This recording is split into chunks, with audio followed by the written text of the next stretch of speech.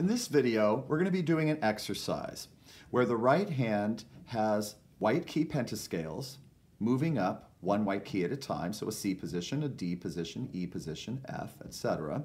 The left hand is going to have octaves moving up successive white keys. So the distinct or the interesting element to this is that the octaves are going to be broken down here.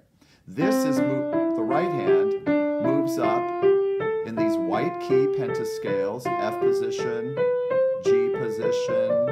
This one's pretty straightforward. You've probably done something like that before. When we get eight reps up, we're going to repeat that one, but with reverse direction until you're back to middle C. In the left hand, we're going to be breaking this octave.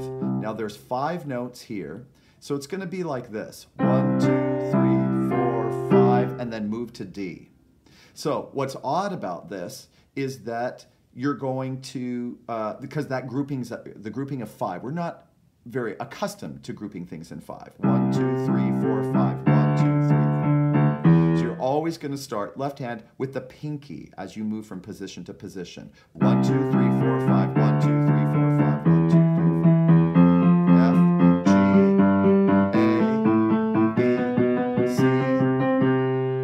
then as we come down, we're going to reverse the order.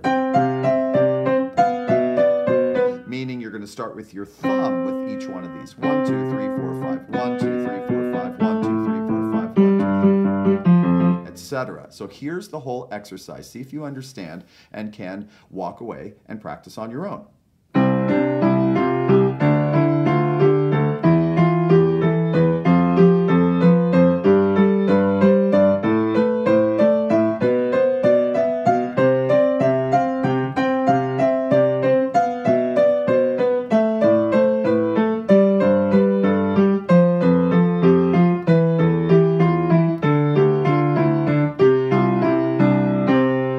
So it's a great exercise and it's a great little brain teaser. See how you do.